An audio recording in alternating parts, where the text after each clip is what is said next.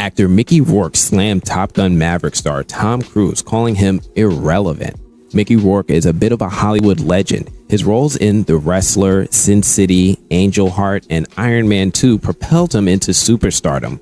With almost a hundred acting credits to his name, Rourke continues to light up the big screen and enthrall his fans from around the globe. In recent years, however, Rourke's star has been on a steep decline. In a recent interview with Piers Morgan, Mickey Rourke slammed Tom Cruise, calling him irrelevant. While his critique is harsh, it should probably be taken with a grain of salt. The quote reads as follows the guy's been doing the same effing parts for 35 years. I got no respect for that. I think he's irrelevant in my world. He went on to talk about actors he idolizes and what kind of actor he wants to be. I don't care about money and power. I care about when I watch Al Pacino work and Chris Walken and De Niro's early work and Richard Harris's work and Ray Winstone's work. That's the kind of actor I want to be like. Monty Clift and Brando back in the day. There's a lot of irony here. Mickey Rourke does this from time to time when he's promoting a new project. He tends to slam some of his own work and the work of others while promoting his own latest work. Tom Cruise is on the top of the world right now. Top Gun Maverick is the highest grossing movie in theaters this year, beating out Batman and all of Marvel's offering. I don't know what Project Rourke is promoting right now, but he's going about it the wrong way.